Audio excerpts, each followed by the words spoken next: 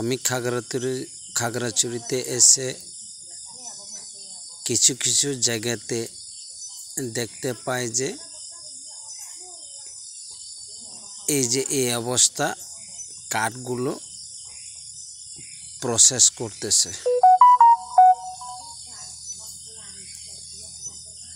মূলত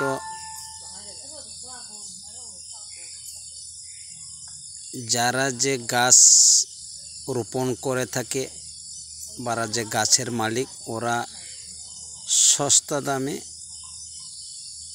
বিক্রি করে।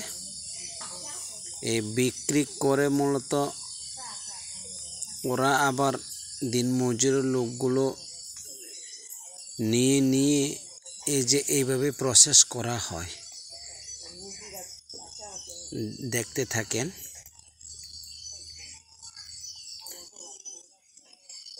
এই যে এই প্রসেস করা হয়, এটা কিন্তু অনেক সময়ের ব্যাপার।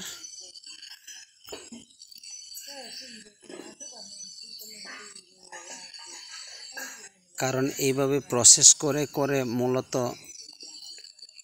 ওরা এক জায়গাতে জমা করে রাখা হয়। জমা করে যখন দেখা যায় যে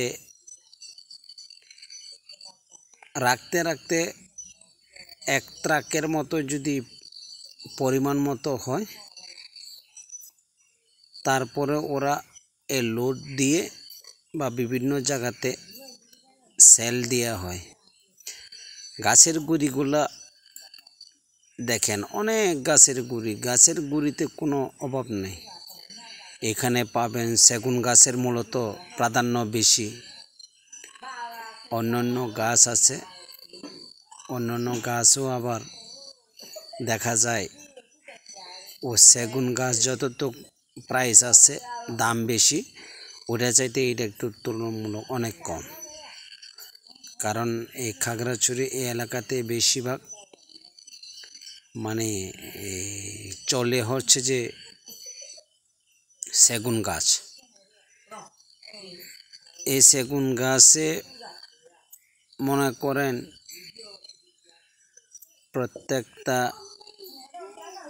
বাড়িতে অনেকগুলি খাট বলেন, সোফা বলেন, আলনা বলেন, অনেকটি বানানো হয় এবং ব্যবহার করা হয় এই সেগুন কাঠ দিয়ে।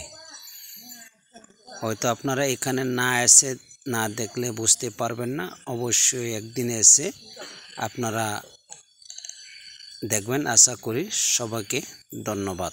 আসসালামু আলাইকুম।